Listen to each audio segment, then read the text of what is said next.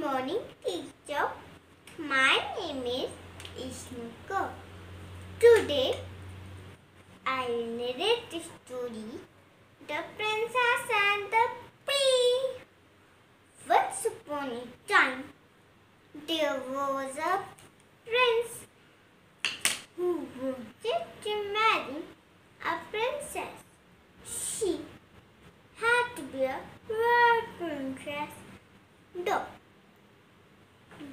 The prince looked all over the world, but he could not find whom he wanted. Many girls said they were princesses, but were they really? Were they really? It was hard to know. Something about that did not seem quite right.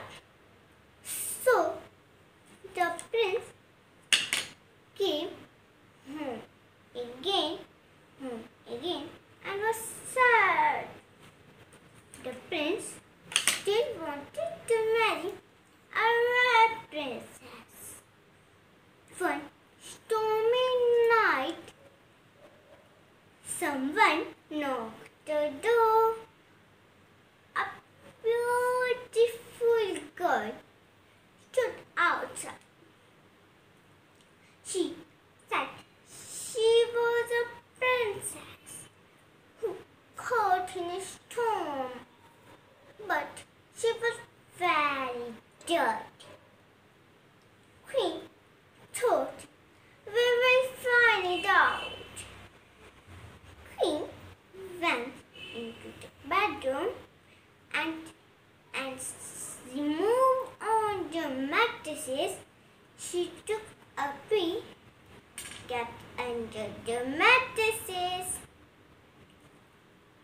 So, Queen asked the girl to sleep on it.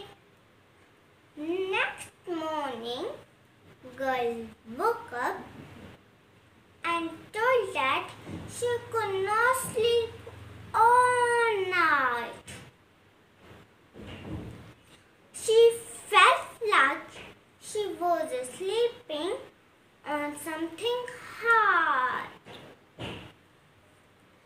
Now, Queen knew that she is a princess.